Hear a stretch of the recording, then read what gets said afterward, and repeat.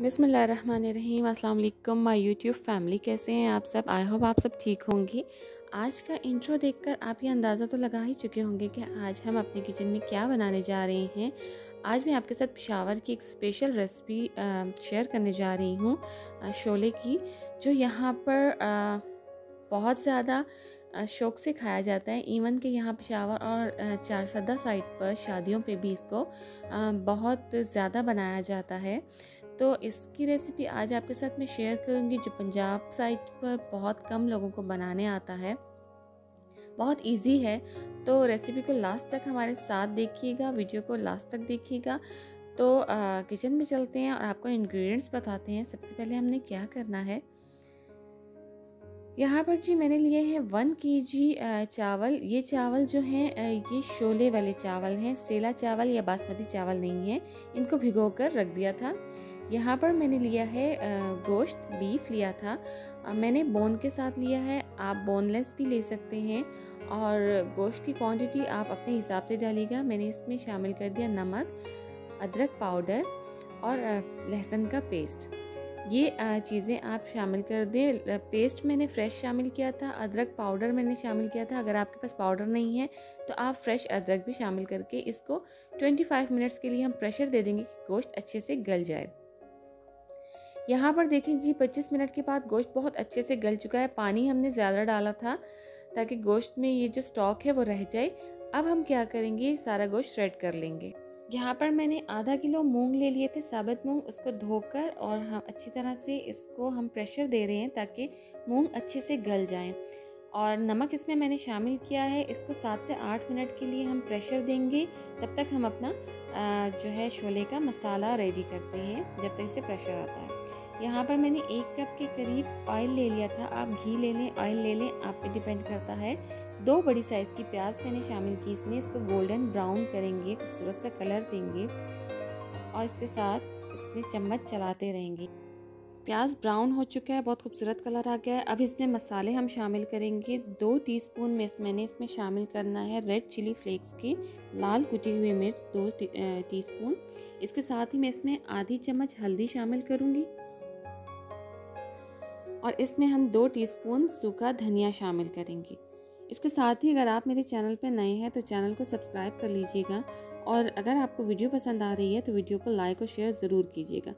नमक मैंने शामिल किया है। नमक यहाँ पर मैंने वन टीस्पून शामिल किया है क्योंकि हमने गोश्त में भी और मूंग में भी नमक शामिल किया था। मसाले को अच्छे से मिक्स करेंगे, इसकी भुनाई करेंगे और इसमें थोड़ा सा फिर पानी शामिल करेंगे ताकि हमारा जो मसाला है, वो नीचे लग ना जाए। चीज़ कोई भी इसमें मिस मत कीजिएगा। बहुत इजी रेसिपी है, बहुत मज़े का शोला बनता है। और पंजाब में इसको खिचड़ी भी बोला जाता है, लेकिन खिचड़ी में और शोले में थोड़ा सा फ़र्क होता है। मसाले की भुनाई बहुत अच्छे से करेंगे। अब इसमें मैं शामिल करूँगी टमाटर। चार अदर टमाटर मैंने लिए थे, मीडियम साइज़ के बारीक काट लिया था और टमाटरों को हम अच्छे से भून कर गला लेंगे। जब तक टमाटर गल जाएँ तब तक आप आ, मेरी वीडियो को शेयर कर दीजिएगा और यहाँ पर जो है मसाला बहुत अच्छे से भुन चुका है टमाटर गल चुके हैं। यहाँ क्या करना है जो हाँ जो हमने बीफ को प्रेशर दिया था उसे हमने श्रेड कर लिया और श्रेडेड बीफ हम इसमें शामिल करेंगे ठीक है? हमने बीफ को श्रेड ज़रूर करना है और जो स्टॉक है उसको हमने स्ट्रेन कर लिया था कि उसमें कोई बोन्स ना आए। है शामिल कर दिया मैंने इसमें सारा गोश्त। अच्छे से, इसको अच्छे से मिक्स करेंगे। मसाले के साथ आप गोश्त को भूनेंगे। इसके बाद मैं इसमें शामिल करूँगी जो हमने स्टॉक निकाला था, वो भी हम इसमें शामिल कर देंगे।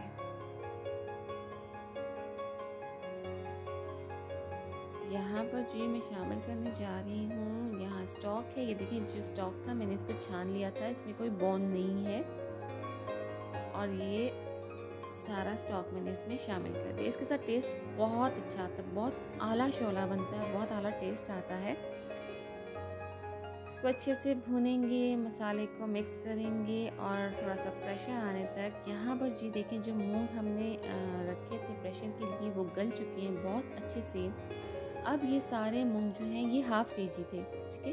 एक के जी मैंने चावल दिए थे हाफ़ के जी मैंने मूंग लिए थे बॉईल कर दिया, अब ये शामिल कर देंगे इसी मसाले के अंदर। सारे मूंग भी इसके अंदर चले गए। अब इसको बॉईल करते रहेंगे, बहुत अच्छे से इसका मसाला बॉईल हो जाए, इसकी यखनी बन जाए। ये देखिए, चम्मच चलाएँगे, काम थोड़ा सा मुश्किल है डिफ़िकल्ट है, और लेकिन ये जब बनकर तैयार होता है तो बहुत ज़बरदस्त बनता है। ये जी यहाँ पर जो चावल मैंने भिगो के रखे थे अब मैं चावल भी इसमें शामिल करूँगी। एक केजी चावल थे शोले वाले चावल थे सेला और बासमती नहीं थे। इसको आ, ये थोड़े मोटे होते हैं सेला से भी तो वो शामिल किए जाएँगे शोले में। यहाँ पर सारे चावल मैंने शामिल कर दिए। अब मैं इसमें डालूँगी पानी। एक्स्ट्रा हम डालेंगे करीब दो से ढाई लीटर पानी हम इसमें शामिल करेंगे। और इसको अच्छी तरह से गलने के लिए छोड़ देंगे हल्की आँच पर। बहुत ज़्यादा हमने तेज़ आँच नहीं करनी मीडियम टू लो फ्लेम पर ही हम इसको अब बनाएँगे। तो ये देखें जी तकरीबन तीन लीटर पानी। यहाँ पर पानी डाल दिया है। अब क्या करना है इसको? मैंने चेक किया तो नमक मुझे कम लगा। दो टे, टेबल स्पून में नमक इसमें मज़ीद शामिल करूँगी क्योंकि हमने स्टार्ट में नमक ज़्यादा शामिल नहीं किया था। तो आ, नमक आप अपने टेस्ट के अकॉर्डिंग ही बार बार मैं बोल रही हूँ आप चेक कर लीजिएगा और अपने हिसाब से ही डालिएगा। इसको अच्छे से मिक्स करेंगे। इसके बाद मैं इसमें शामिल करूँगी गरम मसाला। गरम मसाला इसमें टू टीस्पून शामिल करूँगी। इसके साथ इसका टेस्ट उसकी खुशबू बहुत अच्छी आ जाएगी। वीडियो आपको पसंद आए तो वीडियो को लाइक और शेयर ज़रूर कीजिएगा और इस रेसिपी को ज़रूर ट्राई कीजिएगा, अपना फीडबैक मुझे दीजिएगा। यहाँ पर इसे मिक्स करेंगे, गरम मसाले को मिक्स करेंगे।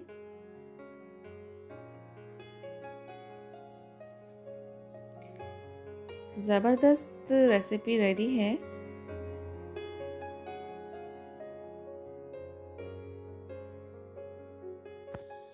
चम्मच चलाते रहेंगे यहाँ पर और ये जो चावल और मूंग अलग अलग दिखाई दे रहे हैं, इसको हमने एक जान करना है। तब तक हम इसका तड़का रेडी करते हैं। एक कप घी मैंने लिया था, उसमें एक बड़ी साइज़ की प्याज मैंने शामिल कर दी थी। इसको अच्छे से फ्राई करेंगे। गोल्डन फ्राई करके प्याज क्रिस्पी हो जाए तो हम इसको सेपरेट कर देंगे, ठीक है? ये हम ऊपर से तड़का लगाएँगे इसको शोले को। ये देखिए जी, प्याज को हमने कर रहे हैं। चम्मच चलाएँगे, वरना प्याज लग जाएगा। तो इसको हमने करना है क्रिस्पी।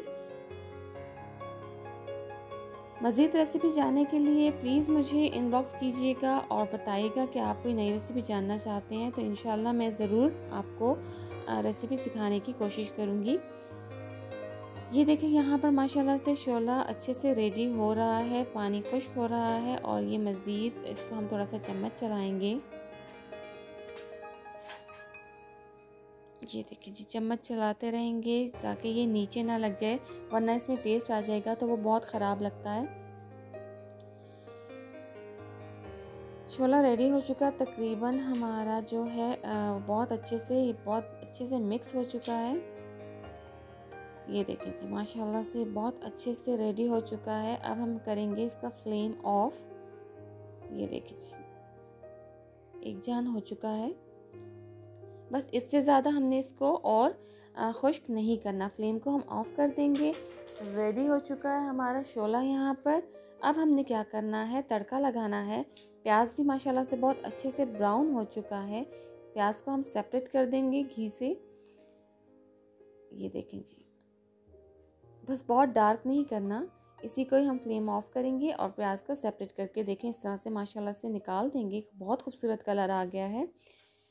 जो घी था हम वो शोले के ऊपर से तड़का लगा देंगे, इस तरह से सारा फैला देंगे। बहुत ज़बरदस्त टेस्ट आता है इस तड़के का इस प्याज का जो गोल्डन हुआ हुआ होता है। और ये सारा हम क्लीन कर देंगे, इसमें डाल देंगे। मिक्स करेंगे घी को और थोड़ा सा ये देखिए जी इस तरह से हमने इसको मिक्स किया। और अब मैं इसकी फाइनल लुक आपको दिखाऊँगी इसको डिश आउट करते हैं। ये देखें जी माशाल्लाह से आ, मैं इसको डिश आउट कर रही हूँ और यहाँ पर ये देखें ज़बरदस्त शोला रेडी है। ऊपर से हम इसको करेंगे गार्निश प्याज के साथ। ट्राई कीजिएगा अपना फीडबैक दीजिएगा चैनल को सब्सक्राइब भी कीजिएगा और वीडियो को लाइक और शेयर ज़रूर कीजिएगा। ऊपर से हम डालेंगे इसके प्याज, जो हमने गोल्डन फ्राई कर दिया था। ये देखिए इसके साथ इसको हम गार्निश करेंगे। बहुत ज़बरदस्त इसकी लुक है। टेस्ट बहुत ज़बरदस्त है, आला है। और अपना फीडबैक दीजिएगा। तब तक मुझे दुआओं में याद रखिएगा। नेक्स्ट वीडियो के साथ नेक्स्ट टाइम इंशाल्लाह आपसे ज़रूर मिलूँगी। अपना बहुत ख्याल रखिएगा। बहुत शुक्रिया जी। अल्लाह हाफिज़।